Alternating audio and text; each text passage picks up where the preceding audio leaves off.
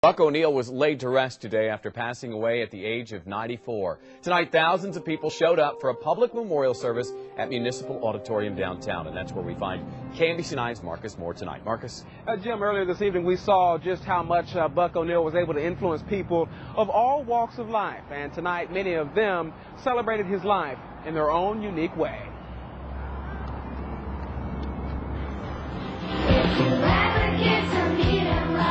A group of first graders used this special song to remember KC's Buck O'Neil. Someone else called him the man, the myth, the legend. the man. The myth, the legend's life was about memories, making them with friends, sharing them with strangers. I spit this poetry because he stood there for me, because he made that bet go for me. Buck's family celebrated his 94 years, but wondered with more time, could he have achieved more? He was 104.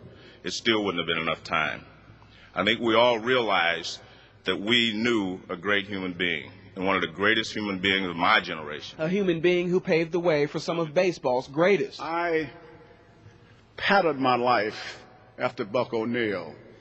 He was my idol and role model. Unlike Buck, many players made it to baseball's Hall of Fame, but Buck knew he was special. After all, he broke so many barriers. Then he got that call that he couldn't believe to be the first black coach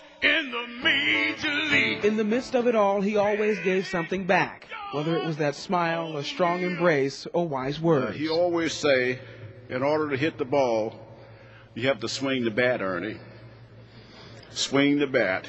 And he did. Buck swung the bat so many times, and he hit the ball out of the park. Three strikes you out at the old ball game. And there was a major announcement at tonight's uh, memorial service. You know, Buck O'Neil wanted to renovate the historic YMCA into the Buck O'Neil Education and Research Center. Well, tonight, Julia Irene Kaufman announced that she will be donating $1 million to the project to make that dream come true. Reporting live downtown, Marcus Moore, KMBC 9 News.